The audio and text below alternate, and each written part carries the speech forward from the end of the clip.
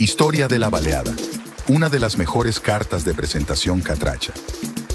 ¿Sabías que hay varias historias detrás de uno de los platillos más deliciosos y emblemáticos de Honduras, la baleada?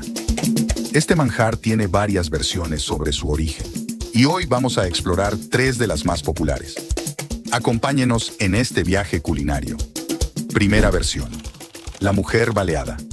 Nuestra primera historia nos lleva a San Pedro Sula. Se dice que, en esta ciudad, una mujer vendía tortillas de harina con frijoles y mantequilla. Un día, fue víctima de un tiroteo, pero milagrosamente sobrevivió. Los clientes empezaron a referirse a su puesto como el de la baleada, en honor a la valentía de la mujer. Con el tiempo, el nombre se quedó, y así nació la baleada. Segunda versión, Doña Tere y la Ceiba. La segunda versión nos transporta a La Ceiba en 1964.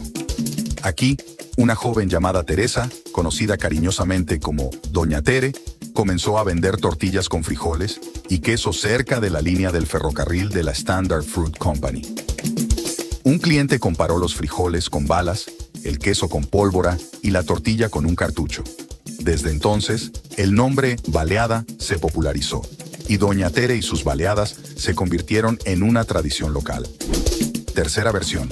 Influencia asiática. Finalmente, la tercera versión sugiere una influencia internacional. Durante la llegada de las compañías bananeras, muchos cocineros asiáticos, principalmente de Pakistán e India, trajeron recetas de chapati y naan.